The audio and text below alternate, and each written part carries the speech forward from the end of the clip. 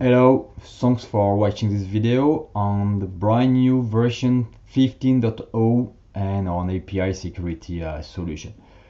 As you may know, I already posted an, another video on 14.1 API protection. So now the goal is just to focus on the new things in version 15.0 and as you are going to see, we merge the WAF and the authentication and authorization part of API security. So first of all, we're gonna use HTTP bean.org as an API server. Okay, it's a public website. We can use it for any demonstrations. It's very simple to use. And we're gonna use as well, of course, a 15.0. So here I have a 15.0 big IP.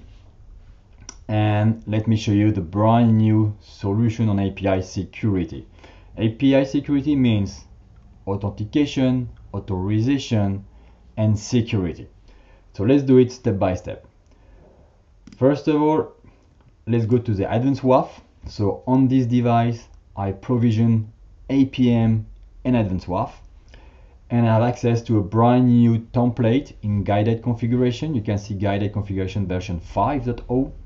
I have the REST API security with Open API specification file or Swagger file. So if you remember in my previous video, I explained what is a Swagger file or an OpenAPI file. Okay, so for httpbin.org, it's pretty simple. Let's go to slash spec.json and you get the Swagger file. So you can see all the URI, all the parameters, the response code, and so on. So let's start and create a new configuration step by step. First of all, give a name and select your Open API file or Swagger file, this one. Then I have some options. Uh, I have an option for rate limiting, another one for whitelisting or, or blacklisting. So let's use rate limiting. So as you can see here in the banner, I have a new bullet. And let's enable auth for authorization, identification as well. So next, the template reads the Swagger file and creates all the entities. Okay, so an entity in the, in the WAF, in F5 WAF, is a URI, is a method, a parameter. So as you can see, I have uh, all my entries and entities, and the base path is slash. The response codes status from the Swagger file. Okay, so some of them the security settings, the WAF part, so as you can see, it's very simple because everything is created from the Swagger file, the URI, the method, the response. So just blocking or, or transparent, let's type blocking. Authentication and authorization. So before the video, I created uh, AD uh, provider template. So I just select the one I created. It's based on JWT token. Azure uses only JWT token. It doesn't use opaque token anymore. So I just created an application in my Azure tenant. I, I just get from this configuration an ID and a secret code. Okay, a secret key. That's it. So it's very simple.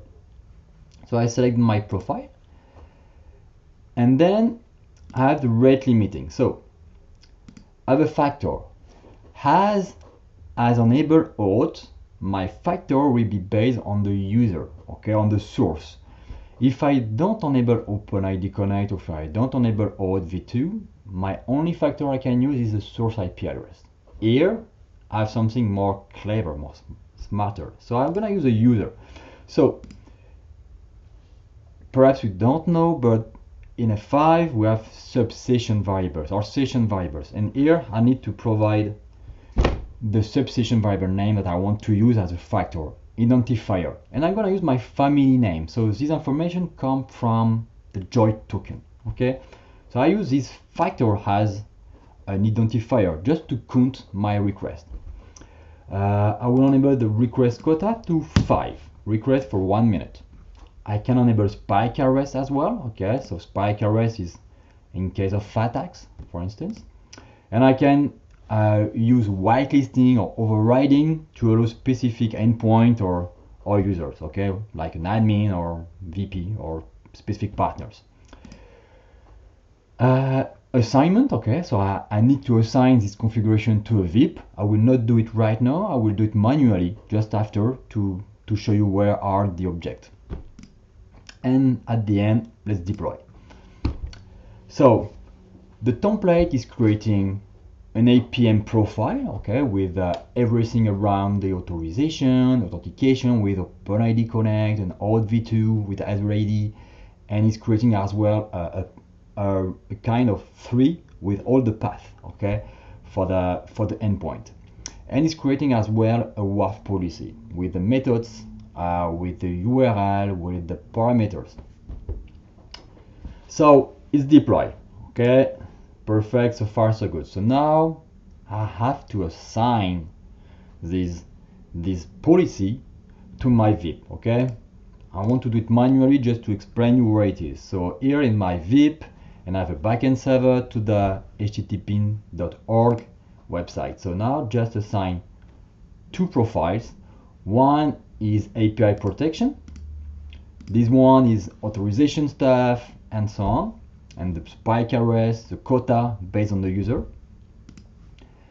And the second one is my security policy. Okay, so the WAF. I should not see any injection or scripting in my request. That's it. Now it's done. Let's make a test. So here I have a Postman. Okay, Postman is a client to make a, to make API calls. So as you can see here, I created some some calls. One is based on the headers.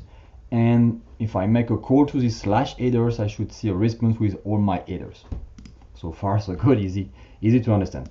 So first of all let's let's do something like that without authentication.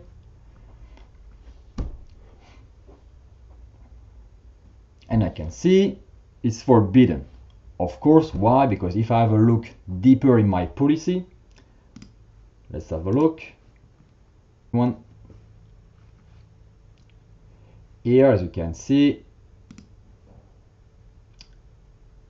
if I don't do auto authentication I'm blocked. Reject reject reject. So I need to authenticate with uh, with OpenID Connect or with OAuth v2 so OAuth v2 okay I will delete the previous token okay and and request a new one so what I need of course, is information regarding the authorization server. It's Azure AD for my, in my case. It's a corporate F51, okay? So I have to provide some information with a client ID, a secret ID that you don't see, and I request a token. So it's pretty simple. The the postman connect to Azure AD and Azure AD redirect me to something to authenticate. Or in that case, it's an it's an APM. So it's requesting authentication Then ask me if I want to do a caching and no. Okay, so I have a token here. Great.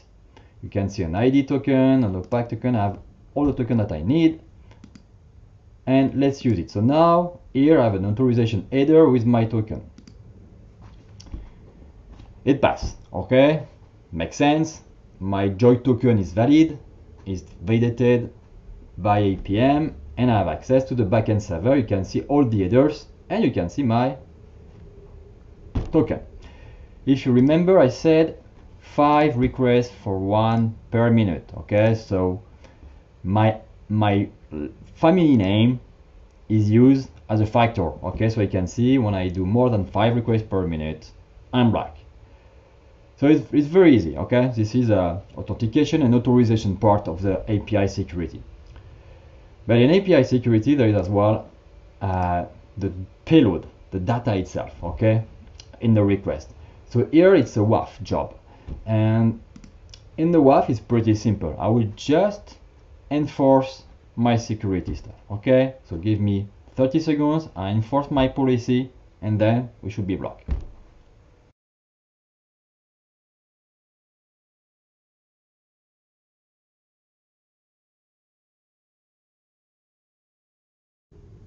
Okay, the WAF policy is enforced. Okay enforced means i disable the staging. Okay i learned enough. So And in API, you don't have to learn a lot because we know the method, the URL, the parameters, except the length of parameter value, we don't need more.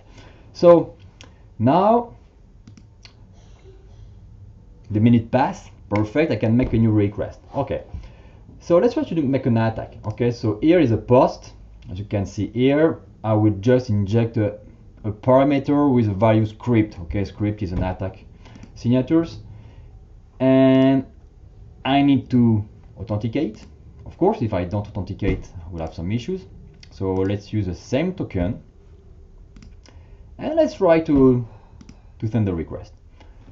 And you can see this block. Okay, so this is a default API blocking page. Okay, it's not a page, it's just a JSON response, and you can see the support ID. If I get back to my WAF, to my log, request,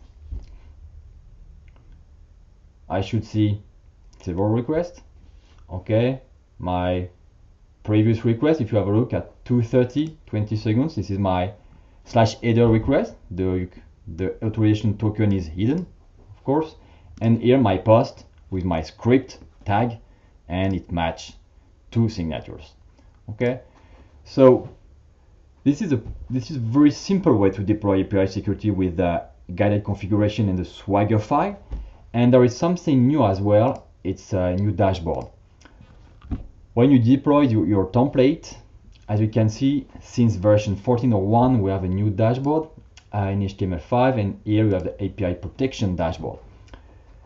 Then on this dashboard, you select, so this is an overview with all your profiles and select the good one, okay, and and here we are, okay. So the security event, the re access rejection, if I made a mistake or if I try to join to reach the endpoint without auth, and the rate limit rejection as well. Of course, I did one. Okay, it was a reject by quota, not a spike arrest. And I have more information regarding the client OS reputation. I don't have API, IP reputation, so I don't get it. And here I have some more information. Okay. Thanks for watching and see you for, for the next video.